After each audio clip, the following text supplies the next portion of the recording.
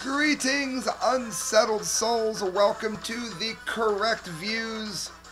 Sam I. B. DeGangi doing political commentary for the Media Speaks. And before you say that was a sloppy beginning, you try syncing up two cameras once when one of them are live. Friends, welcome aboard. Sam I. B. DeGangi uh, doing political commentary for the Media Speaks. For those of you that say, you should tie your hair back if you're going to be a reporter, I'm not a reporter, I'm a political commentator. Reporters must be unbiased. I am not unbiased, I am correct. And sometimes someone is correct and you don't like them. And they're correct enough that you make it your lead off story. And that's what I'm doing. Now, before I get into what he was right about, Chris Christie has. I am more likely to take my flaccid penis and ram it into an electric pencil sharpener than I am to vote for Chris Christie in the primaries, just to be clear. Don't tell me that you like Chris Christie. Oh, yeah, way to go, Sam. You've seen the light. No, I haven't. For those of you that hate Chris Christie's policies, I'm with you, okay? But he's right on this. It's a correct view. It doesn't mean I have to like the guy. It doesn't mean I have to think he was a great governor, I don't. But this is important. And I think it's important that it's in the Japan Times. New Jersey Governor Chris Christie, campaigning for president in New Hampshire, said the U.S. would have no right to stop Israel from using military force to destroy Iran's nuclear program. Israel is a sovereign nation. It goes without saying that they don't need everybody in the the liberty movement have been saying forever. Ron Paul said this. Ron Paul said that he was sure that Israel could more than take care of itself. Remember that? Chris Christie saying the same thing. Um, do I want Israel to do that? If they're going to, they should have already done it. And here's my concern. And this is where I want everyone listening to simply hear me out on this topic. All that matters, the only thing that matters, is that the same people that predicted the massive earthquake that how hard did the earthquake hit in Japan and on, on 9/11 on 9/11 on uh, March March 11th how hard how hard did it hit? It changed the axis of the earth. The same people that predicted that and we know that not all four reactors melted down due to uh, the tsunami. Only two of them did. The other two were melting down as of the earthquake. The same ones that predicted that earthquake that we know can cause meltdowns, melt throughs, and melt outs. Well, and that for those of you that don't know what all that why all that matters, it pretty much means you get cancer. Um, we are hearing the same scientists saying now that there's going to be an earthquake of that magnitude right where Iran is building the nuclear power plant. So, for those of you that say Iran is peaceful, I hate Israel, and they should be allowed to do whatever they want, you're wrong. They're going to have a meltdown, and it has nothing to do with Jews. For those of you that support Israel, and you say, the Iranian plant absolutely cannot open because they're going to bomb the Jews, you are also missing the point and are just as wrong. Even if Iran was peaceful, even if Israel loved the idea of Iran doing it, two things that would never happen. Israel would still be wrong. They'd still be missing the point. The earthquake that is mathematical, scientific, provable fact by the same people that were ignored when it was going on, when it was being predicted, I should say, before in Japan, are the same people that are ignoring the science now that the same scientists are saying is going to hit Iran. It is maddening to me because even Chris Christie managed to not mention this. It is not a political issue. It is not about Christ. It is not about Allah. It is not about uh, Jews. It is about an earthquake that is going to kill more Arabs than every Jew that has ever lived. Do you understand this? And it's maddening to me. It's maddening because you never hear anyone talk about this. Never, ever, any freaking where. And the last time you heard this deafening silence, we got what we got in Fukushima. And for those of you that follow this, the massive Fukushima update will be next week along with the dunce cap. Um, this is why I'm saying what Chris Christie is proclaiming right here is exactly what Ron Paul said. And that's pretty much where the similarities end. Christie said Wednesday at a Republican forum that he'd look to have a conversation with Israel prior to any military action, which he said would be the proper course for friends and allies. A former federal prosecutor, Christie, 52, has called for expanding the military and government intelligence gathering as part of his foreign policy. Who wants a federal prosecutor as president? Um, again, Israel is a sovereign nation.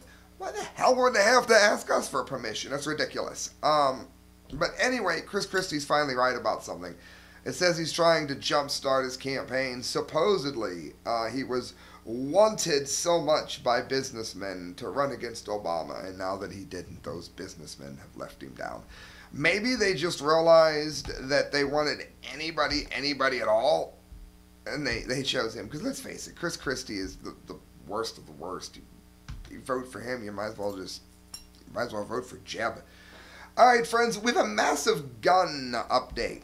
And we have three stories right smack, boom, boom, boom, in a row about guns saving innocent lives. How many innocent lives? We don't know, but we know for sure that one of them looked like it was going to be a mass shooting that was uh, was stopped by uh, lawful gun ownership and responsibility. Listen to this, Mikael Thalen, Prison Planet. A Wisconsin clothing store owner opened fire on a group of attempted robbers last week and successfully defended both both his business and his life. May God bless him.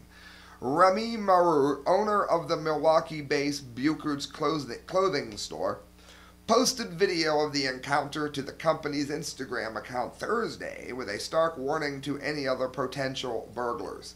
And again, you're, you're, you're going to use the gun to, to, to, to, to cause more harm than good. Well, Remy Marur saved his life and his business thanks to it. Listen to this. Just to set the record straight, we go to work to make our living and to feed our families, not to have shootouts, Marur wrote. Don't come to our establishments with guns or try breaking in our stores and expect less than us defending ourselves. And if this is what it's going to take, then let it be. We will protect our business and our employees at any cost. Amen. According to Marur, who was armed with an AR 15 rifle, and no, that does not stand for assault rifle. One suspect was shot after the would be robbers attempted to crash a stolen van through Buchert's front door. Detailing the dumb criminal's mistake in the video description, I like Moore. He reminds me of uh, a person I'd like to have a beer with. Moore confirmed that at least one of the men were arrested following the incident. The video also shows the perfect example of dumb criminals. And keep in mind, we haven't even gotten to the dumb D yet. We have two of those at the end. One, you steal a van. Two, crash the stolen van into a store and make all that loud noise when it's quiet at night. Three, I guess it was in a residential area. Don't expect anyone to be monitoring or securing their small business. Business. Four, get shot. Five, get arrested. Six, leave with nothing. The golden goose egg, friends. At the end of the day, it's just some clothes. It's not worth anyone's life. An alleged friend, Moorer, commenting on Facebook, stated that the business had previously been hit by criminals multiple times. Oh, he's trigger happy. He's trigger happy. Uh, no. He wasn't. I doubt he was out trying to shoot minorities since he was one. And again, I don't even know what the people look like that robbed him. I have no idea. It doesn't matter. It doesn't matter. The only people that want it to matter are the people on the left. Uh, he's been robbed a few times, and his business has been broken into many times before, said Mike Elisowilia. His own brother was shot and almost killed during a robbery of their store not that long ago, and he's had enough. It's time to start blasting back at these scumbags. And I agree. Says if it wasn't for his firearm, he probably would have died that night. I think he probably would have. Idiot. All right, more. Uh, the last I promised you three stories here. Internet is so slow. It's not an internet. It's an abacus. Um, I've got Infowars here, and it says one that probably will not be reported on, or one that won't make the headlines. Man with concealed carry permit prevents mass shooting and saves lives of three people, including a one-year-old. Oh no, but if he has guns, he could flip out at any moment. Well, if you have enough people with guns, it's very unlikely that everyone's going to flip out at any given moment. And um, somebody is going to stop the one idiot that did. Steve Watson, InfoWars. Here's air. God, the internet is slow tonight. Sorry, listeners. Quite sorry. trying to quote this for you. But I, you know exactly where it's going to go, just the same. Cincinnati uh, Fox 19. Here's the story that won't make many headlines in the mainstream media because it doesn't neatly fit into the anti Second Amendment agenda. That is the uh, government's wish to take your guns away. In Ohio, finally good news from Ohio, concealed carrier prevented a tragedy Sunday as he fired upon a man who was trying to kill a woman that he got in an argument with, as well as her one year old child and innocent bystanders. Cincinnati Fox 19 reports the 62 year old Thomas McCrary pulled a gun on Patrick Ewing, and when Ewing attempted to settle a dispute between his own sister, Jeanita Walker, and McCrary. McCrary shot at Ewing three times, according to the report, prompting Ewing to pull out his own firearm, to which he had a concealed carry license. So once again, Somebody doing the right thing with a gun has saved the lives of uh, untold numbers of people here. We know at least three. Uh, who knows if he was shooting a bystanders, how many there were. Americans think guns can help prevent crime, it says in the story. I, I think my foot, we just kind of proved that it did now, didn't we? It says uh, he was McCrary was eventually arrested and taken to the hospital where he was treated and released into police custody. So at least he didn't die. And again, I mean, you could be one of the bystanders. Maybe he doesn't kill you. Maybe he paralyzes you, and you get to spend the rest of your life in a wheelchair. Does that sound like fun? Because it doesn't to me. I like bowling. I like snowboarding. I'm not that great at either one of them, but that's beside the point. No, that doesn't sound fun to me. So there's somebody doing the right thing in Ohio too, and we do carry here. Uh, guys, Washington Times, if you don't believe that I have sources, go ahead and look this up. But get ready for the, the site with 10 million ads and videos that won't stop playing and an endless headache if you want it. It's better just to trust me. Uh, Washington Times, murder rates drop as concealed carry permits soar, according to a report. You always hear, you can't trust InfoWars, you can't trust this. You... All right, well, how about if you trust big media so much? Here you go, the Washington freaking Times. The number of concealed carry handgun permits has skyrocketed since President Obama was elected. No wonder there. While murder rates have fallen, repeat, gone down according to a new report released on Wednesday. A lot of the shootings that are happening now are real high profile. That's because uh, we have really weird shootings lately. Uh, and um, also, so many of them have been part of the race baiting that uh, the left wants to do. But when you look at the actual numbers, as concealed carry permits go up in states, those states are seeing a massive drop in murder rates. Since 07, the number of concealed carry handgun permits has soared from 4.6 million to 12.8. And uh, what do we see? We see a drop in everything that everyone's worried about when they want to take our guns. And that should alarm you because throughout history, it happened in Rome, it happened in Germany, it's happened in Russia, it's happened in China. You disarm the populace and then you can do whatever you want to them. It says the number of permits issued is increasing faster every year. Over 1.7 million new permits were issued last year, at 15.4% increase of 13 since uh, 2013. The number of concealed carriers is likely to go higher since permits are not required in eight states. Shall not be infringed. Gun rights advocates say that the findings in the report fall in line with their personal experience and research and directly refute the liberal argument that more guns lead to more violence. It puts the lie to the myth promulgated by the anti gun individuals that somehow more law abiding citizens carrying guns will lead to more crime.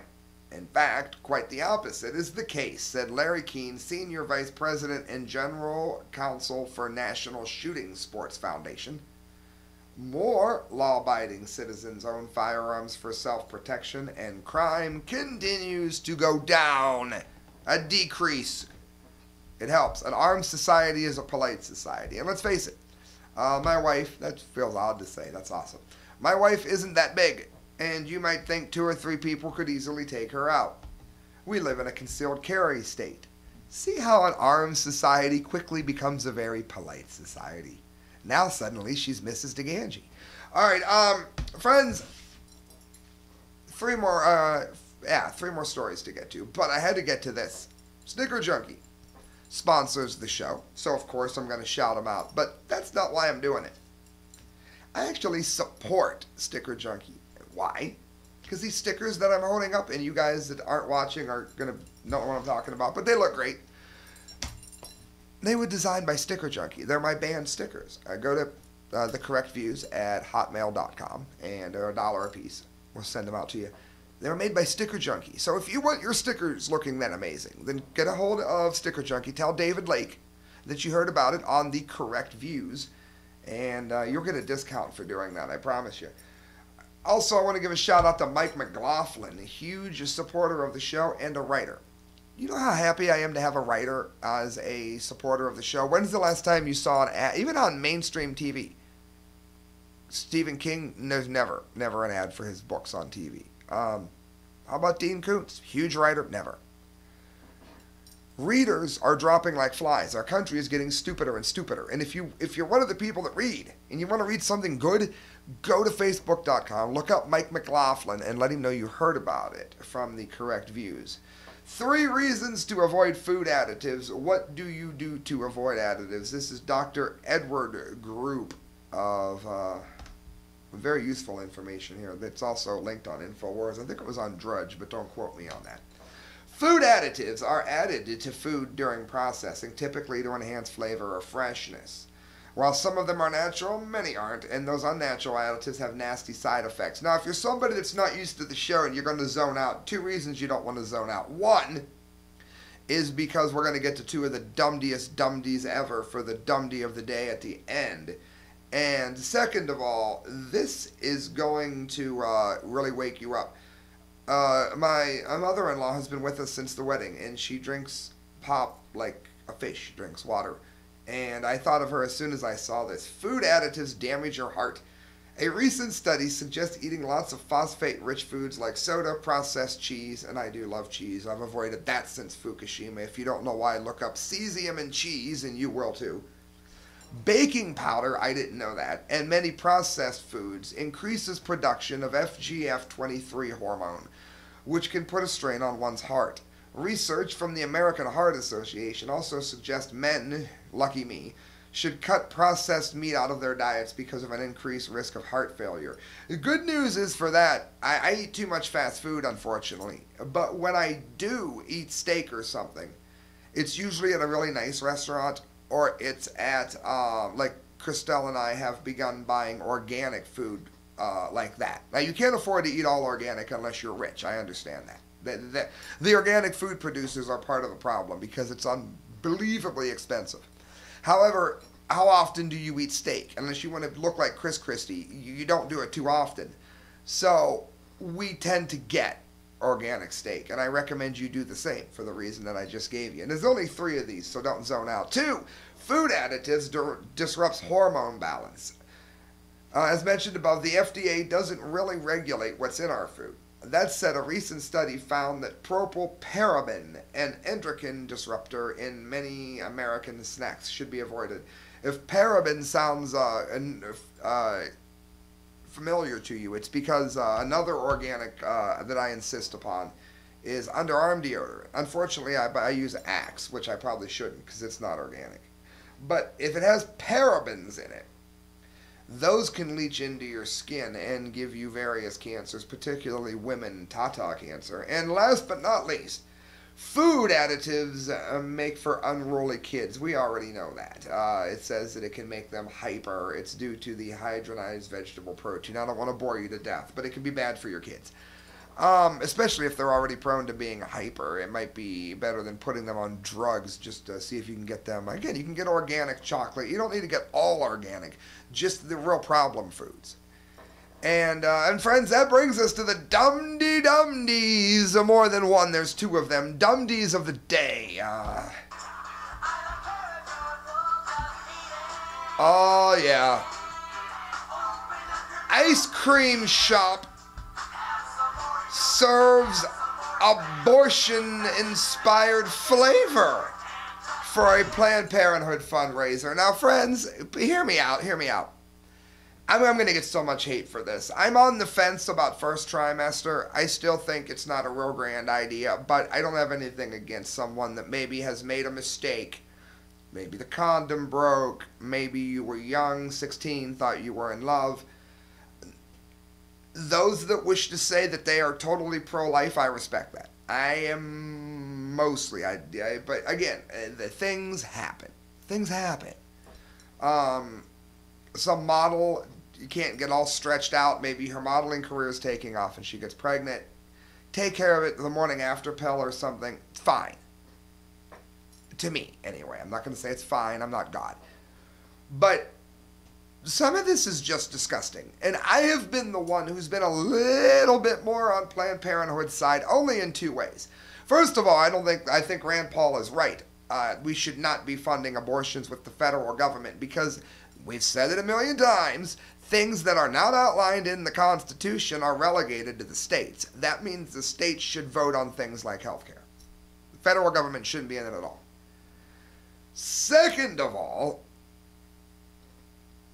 Planned Parenthood has been allowed to use tissue from aborted fetuses to, uh, to for things like stem cell research and such. I'm not completely against that either. I'm against the selling of it. I mean, that's just sick. I was under the impression that the the after the abortion the I mean, I didn't know that they were hacking at it in certain ways and selling it like to make a Frankenstein monster or something. That's disgusting. I think that needs to stop. Um, the other thing you need to remember with Planned Parenthood is most women that go to Planned Parenthood do not do so for abortions. And I work in a strip club, so please don't argue with me. I'm a DJ and it's in one. Don't argue with me because I, I promise you I'm right. Sometimes the female body does things that it should not do, and when it does those things, it is best to see a doctor that can fix them. And many times, the only ones that can afford this Planned Parenthood. Um, I had an ex, and that's all I'm going to say, that had a infection when she was sick, and it created what's called a fistula, and it spread from one private part to the back door private part. And it was an absolute nightmare. And if it wasn't for Planned Parenthood, she'd have probably died waiting uh, through treatment or whatever. So you don't want to throw the baby out with the bath bathwater, but I would love to see Planned Parenthood replaced by just about anything. Sanger was a monster who started it. Um, the care you get there is it's better than dying, but again, we can do better. I don't think we need to be paying, the federal government needs to be paying for abortions. And I don't think that people need to be doing things like bowling for abortion, which uh, we've reported on that. You can look it up on the channel. But this here, this is so far removed from anything that I could ever be in favor of that it's not even funny. This is where I begin to wonder if all the pro life people who are totally pro life aren't maybe 100% right. Adan Salazar Infowars, a pro-abortion ice cream shop in Oregon. Eh, we just reported on Oregon spying on where you drive to and trying to tax you. What's with Oregon lately? They whipped up a special flavor for its recent Planned Parenthood fundraiser. What's the scoop? In Portland, is evidently unfazed by a recent sting of videos that showed Planned Parenthood administrators apparently profiting from the sale of aborted fetal organs. Oh, what's the scoop? Okay, that's the name of the place. So now you know who to call and complain and otherwise boycott. According to a Facebook post, a small batch of ice cream, a, the small batch ice cream shop held a fundraiser at the state's Planned Parenthood chapter last week, unveiling the Taste of Victory flavor help support this wonderful organization. Now, if they had just raised money for abortion, that's fine. I mean, I wouldn't do so, but let's face it, it's their right to do so. It's about to get disgusting. We will be hosting a fundraiser to benefit the Planned Parenthood advocates of Oregon. And what's the scoop from 5 p.m. to 8 p.m., the Facebook post read. So you can find What's the Scoop on Facebook if you are listening to the show. And I do the dumdies so you'll, you'll, you'll point the idiots out in society like I do. 10% of all proceeds during the hours will be donated. 10%. So it's really just about getting 90% of the profit for themselves anyway. 10%. How many? 10% on a $3 ice cream. How very kind of you. I'm sure that'll that, that that'll buy a, a tenth of an abortion for someone um, if they really need it. Good job. Taste of Victory is described as an ice cream containing Oregon strawberries and white chocolate freckles. They deliberately made an ice cream that looked like an abortion and sold it to raise money for abortions. The small chunks of strawberry flesh may harken back for some images suggested by Planned Parenthood Senior Director Deborah Nucatola, who successfully discussed removing vital organs from aborted babies for profit. So, in other words, they're called What the Scoop. What's the Scoop? You can find them on Facebook. And they absolutely have no couth whatsoever. I have a question. Um, if you're a, if you're a pro-choice person, don't you still find that really disgusting? I imagine so. All right, friends, and that brings us to what is the last of the dumdies of the day. Now, if you don't know what these are, each and every uh, month I do the Dunce Cap of the Month award, where I go through maybe a half hour or longer of the stupidest stories that I have found in the entire time that I was collecting for that month. And sometimes at the end of each show, I do the dumdy of the day all the time, but we end up with so many dumdies that you couldn't possibly get to them on the Dunce Cap of the Month. That's why there's two of them today. Oh, yes. Kurt Nimmo. Obama readies a transgender military. Now, before we go on, I'm a pretty, I'm a pretty, pretty open-minded person. I myself do not dress in women's clothes. Uh, I, I've been accused of it because I'll do the whole fishnet goth black makeup thing. But in terms of looking nice and dainty, my dear, I don't know, not my cup of tea. Don't care if it's yours, it's fine. To each their own. I don't think you need to be praised for it or win the award or uh, like you know Jenner or something. But I don't care what you do. It's none of anybody's business as long as you're not trying to hurt anybody else. But I don't even care if gays are in the military. I, I was all in favor of don't ask, don't tell. It makes some people uncomfortable, and you don't want uncomfortable people guarding your life. Even if I was gay. If I thought that it made the guy that was going to cover me in heavy fire nervous, then I probably wouldn't tell him. Um, I do all kinds of sins. If I'm sitting in church, I'm not just going to bring them up to see how uncomfortable I can make everyone. You, just don't do that.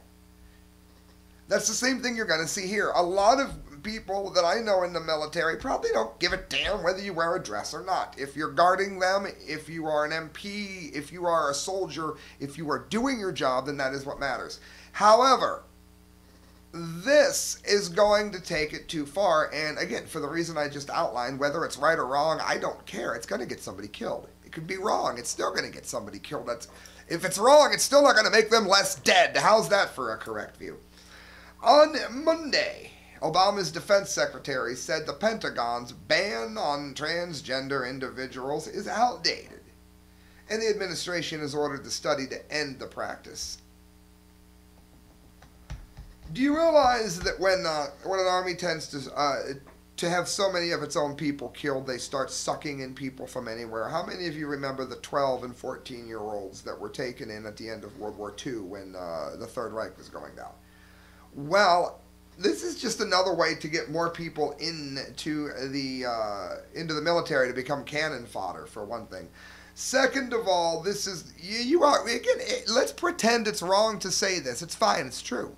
This is going to make a, more straight people not want to join the military, and there's not enough people in dresses to make up for all the straight people that won't join. That's just fact, whether you like it or not. The Defense Department's current regulations regarding transgender service members are outdated and are causing uncertainty that distracts commanders from their core missions, Ash Carter said in a statement. At a time when our troops have learned from experience that the most important qualification for service members should be whether or not they're able and willing to do their job, our officers and enlisted personnel are faced with certain rules that tell them the opposite. Why do you have to do your job in a dress? Even if you are into that lifestyle. Why do you have to make everyone looks the same?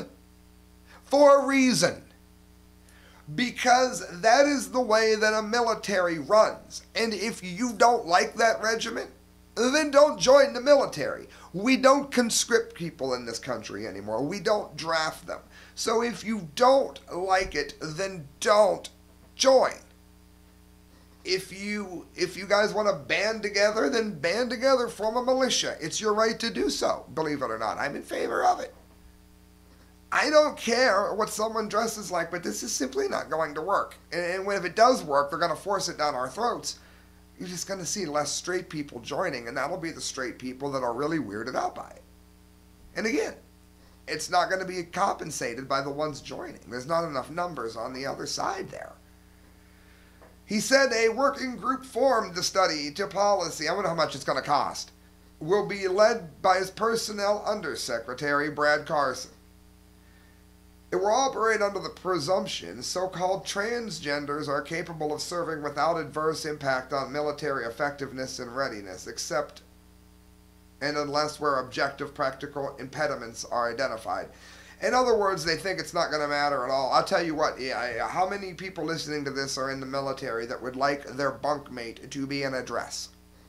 Those that wouldn't care, it's fine. Would I care?